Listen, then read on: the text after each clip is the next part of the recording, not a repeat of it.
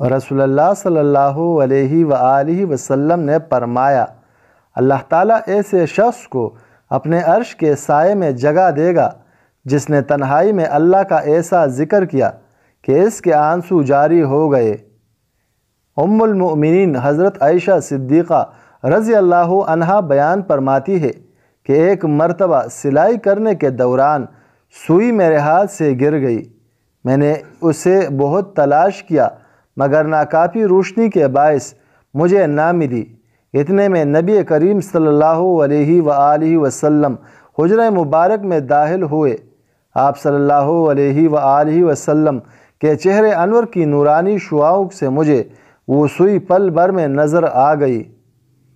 अब्दुल्ला बिन उम्र बिन आस रज़ी अल्लाह कहते हैं कि रसोल्ला सल्लल्लाहु अलैहि वसल्लम ने फरमाया अल्लाह ताला इल्म इस तरह नहीं उठाएगा कि इसे लोगों के सीने से केंच ले, लेकिन वो इल्म को उलमा की वफ़ात के ज़रिए से उठाएगा।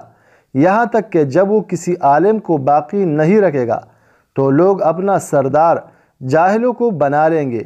इनसे मसले पूछे जाएँगे तो वो बग़ैर इल्म के पितवे देंगे। वो खुद गुमराह होंगे और दूसरों को भी गुमराह कर देंगे।